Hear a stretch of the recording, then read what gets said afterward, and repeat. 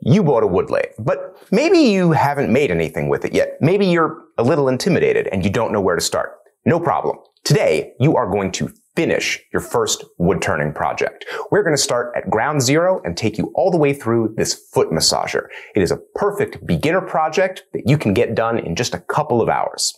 Let's start by picking the wood. I'm starting with a piece of walnut, but any hardwood will do. Your piece should be about an inch and a half square, and you can just glue up some scraps if you need to. Finding the center of a square or rectangle is easy. You just connect the corners, and where the lines cross, that's your center point. Mark your center with an awl, and we'll prep the wood for the spur center. This part goes in the lathe headstock to drive your work. It's got a center point and four big wings. Dig into the wood to spin it. Lots of people just drive the spur center into the work, but there's a better way. Take a fine saw and make a pair of shallow cuts along your pencil lines. These cuts will give the spurs an easy place to grab the wood. I also drill a hole right in the middle, so the point can go in easy and not get in the way of the spurs. You only need to do this to one end. For the other end, just find center. You can take square wood straight to the lathe, but spindle turning is easier if you knock off the corners first. I'm using a heavy set hand plane, but lots of people do this on the table saw, which is quick and saves you time at the lathe. Over at the machine, we need to set the speed, and most lathes have a chart to help you with that. To start out, we want the slowest speed, so we want the smallest pulley on the motor side and the biggest pulley on the spindle side. Notice how all the pictures show the belt staying parallel and only connecting pulleys that are across from each other. Never put the belt at an angle. It's not meant to run that way. Don't cross the streams. On my lathe, the belt tensioner is right here. The knob unlocks the motor so it can move up and down. The lever lifts the motor and I lock it in the up position so there's no tension on the belt. The belt goes on the little pulley at the motor and the big pulley at the spindle. I release the motor and put firm pressure on the lever as I lock it back down. This gives you plenty of belt tension and you can check that by just pushing on the belt. It should feel pretty tight. Your spur center goes in the headstock and your live center goes in the tailstock. And your machine is set up. Mounting the wood is easy. The end we prepared fits into the spur center, and I hold that in place while I bring up the tailstock.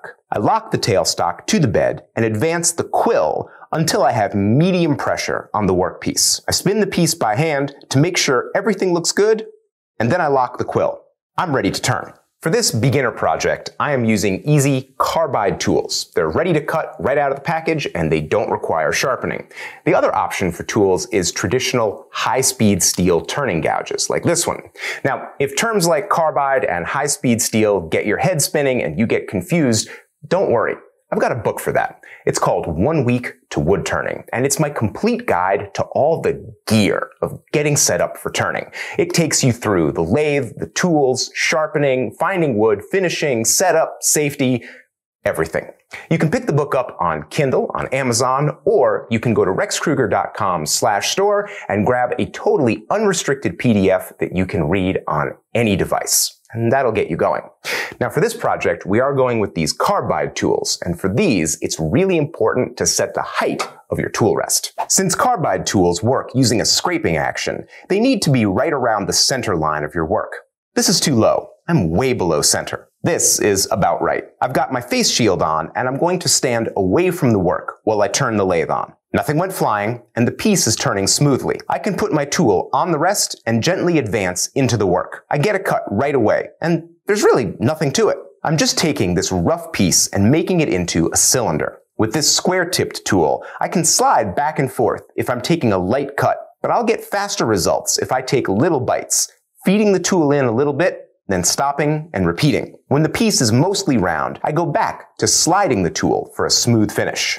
When half my piece is round, I move the tool rest and start working on the other half. I always make my spindle projects extra long. This one is long enough for two foot massagers. If I make a mistake, I'm already set up to make another one, and I won't waste any time. Speaking of mistakes, watch what happens right here. That's called a catch. The tool dug in hard enough to keep the piece from spinning. I don't have the wood held really tightly, so the spur center just slips a little bit and nothing bad happens. Catches happen to everyone. And generally, they're more scary than dangerous. But when I get a catch, I try to pay extra attention. I think my tool is a little bit too low, so I'll bring the rest up a little bit before I keep turning. Once I've got a cylinder, I can lay out my project. I need about 5 inches of material, so I'll mark that with a dull pencil. It leaves a nice thick line. When I turn the lathe on, I can still see my mark, and I'll hold the pencil to the work for a clear layout line. I'll do the rest of my layout by eye. I want about a half inch at either end, and the rest of it will just be divided into narrow details called beads. So I'll make a center mark, and then just keep dividing the remaining space in half until I have a bunch of layout lines. Now, I can use the diamond detail tool to make a deep groove at each of my lines. This tool gets caught pretty easily, so feed it in slowly and don't twist it. Now that I'm done with the roughing out, I moved up my speed two steps to 1400 RPM. Faster speeds will give you a smoother finish and less chipping. You need a fast speed to do details like these.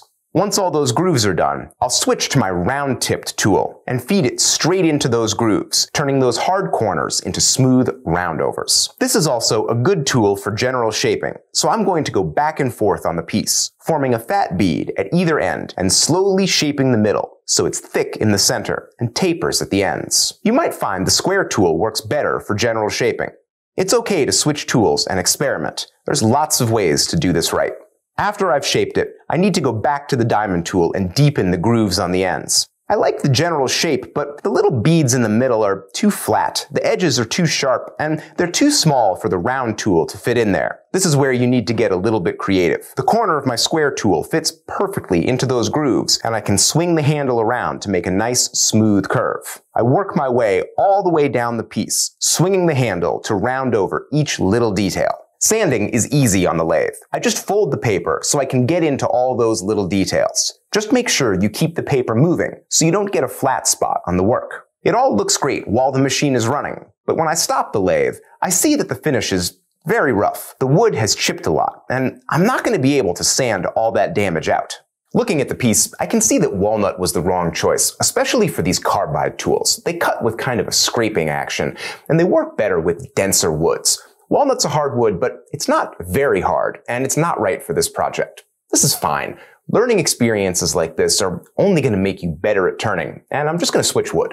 For my second try, I'm switching to maple, a dense, close-grained wood that's much less likely to splinter and chip. Same as before, I use the square tool to make a cylinder, and then I lay out my project. This time, I want to use my round tool, so my details can't be too close together. By using the tool as a spacer, I get my layout lines exactly right. You can see that I've shaded the ends of the piece, and the middle is just going to be a series of round parts. Those are the beads, and in between them will be round depressions, called coves. I'm gently feeding my round nose tool straight into the work not too deep. Once I have my cove started, I work on the sides of the detail, using a small part of the tool and widening the cove before sweeping through the cut in one smooth motion. You don't want to bury the whole tool in the wood when you can avoid it. Taking a light cut with a small part of the edge will give you a cleaner finish with less friction. I'll keep doing this to every other section of the project until I have four coves. Then I'm going to turn the remaining wood into beads. It's handy to put a center line in the middle of each bead. You can just eyeball it. To form the detail, start at your center line, and then push gently down into the cove you already cut. Then, do the same thing on the opposite side. Leave your layout line in the middle until the detail is close to being done, and you can sweep your way across the whole thing in one fluid motion that smooths it out and erases the line.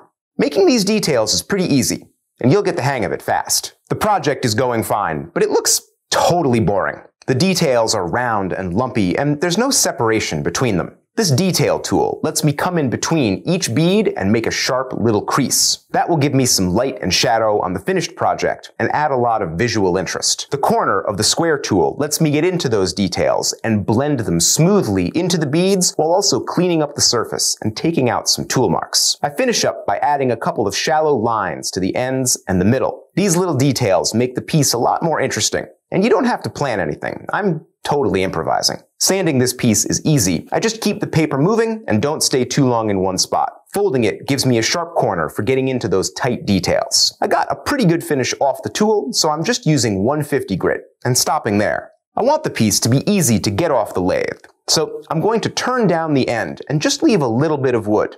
maybe half an inch. Then I'll finish sanding those details. You can leave the piece unfinished, but you can also use any wood finish you have laying around the shop. Wipe-on polyurethane is nice because it's thin and it soaks in fast. I'm just going to slather on a bunch of finish and then turn the lathe on and hold the paper towel against the wood to spread it around. Then I switch to a dry paper towel, put the lathe on its highest speed and press firmly. I'm trying to build up friction here because it heats up the finish and makes it dry almost instantly. Note that I'm only using paper towels for the finishing. If the lathe grabs these, they'll just tear. A cloth rag can get caught and pull you into the work. Never bring a cloth rag to the lathe. To get the project off the lathe, I just use a fine pull saw and rotate the work as I cut. Doing it this way gives you an even cut, and if you do it right, you can knock the piece right off the machine and onto your concrete floor. Or you could be more careful than me and not drop your work. There's no right way. I ended up making three of these, just experimenting with shapes and trying out different techniques. The wood for these projects is pretty much free, so you might as well experiment. The maple one doesn't just look the best, it's also the most comfortable, especially after a whole day standing around on concrete. These things look like a gimmick, but they actually work, and they're a perfect way to practice skills that you'll need later. If you pick a simple project like this, you really can finish your first wood turning project today. And if you do a simple thing like the foot massager, well, it opens up a lot of possibilities because these are furniture details. If you just took this and made it longer, it could be a table leg or a chair leg. This is going to get you into the kind of wood turning that's going to let you make real pieces that you're going to want to show off or maybe even sell. Who knows where it'll go. Now, if you haven't even bought a lathe yet, don't forget to pick up one week to wood turning because it takes you through every piece all the gear that you need to get going in this hobby. And if you want to see more of this kind of content, think about becoming a patron. My patrons get not just these videos early, but a lot of exclusive stuff, including the workbench sessions. It's an exclusive lecture series we do with some of the biggest names in the woodworking world. This month, we have none other than the wood whisperer himself, Mr. Mark Spagnuolo. He's going to come and give us an exclusive hour long interview. And the only people who get to see that ever are patrons. All my patrons get all the rewards for just $5 a month. And if you'd like to get in on that, go on over to patreon.com slash Rex Krueger and sign up. It's really easy. We're going to be back next week with another woodworking video, and we really hope you'll join us. Thanks for watching.